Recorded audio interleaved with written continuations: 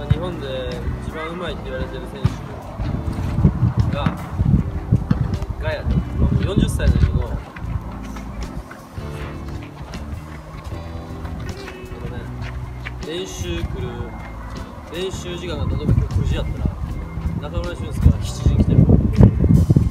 つも2時間前俺らでも大体1時間前がまあ1時間前に来るのが大体通な感じだけど中村俊輔は2時間前に来る中村俊輔は2時間前に来て練習も一番最後までやってで終わってからあの自分の体のマッサージとかして。だからなんであそこまで上に上がれてるかって言ったらうまいから上がれてるんじゃなくて努力してるから上がれてる。いや俺もそれ今までして。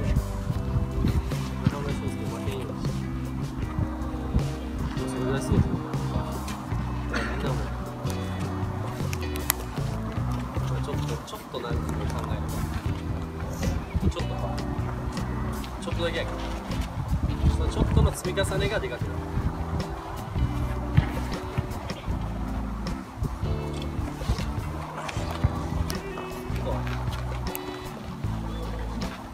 おもろい話じゃない俊介さんがずっと努力する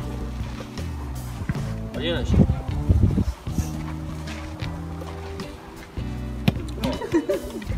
え普通の話やっ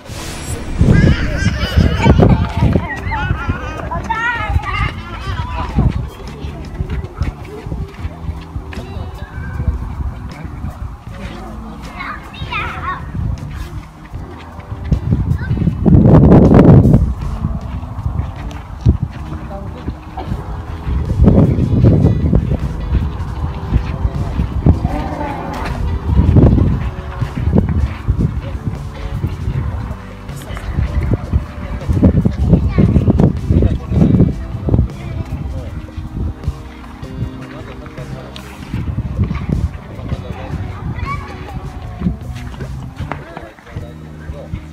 手がぶれる。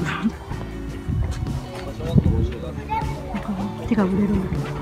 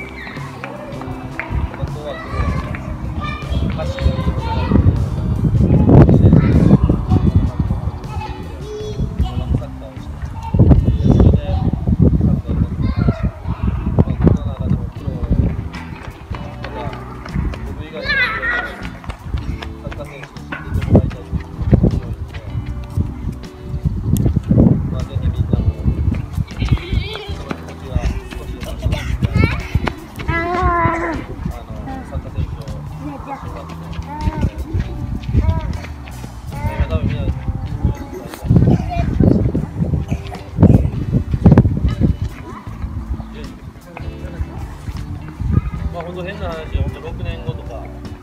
7年後、8年後ぐらいにはもちろん選手やってると思うんで、そうなったらまた俺も同じ同じくらいとかで参加すると思うから、ぜひ。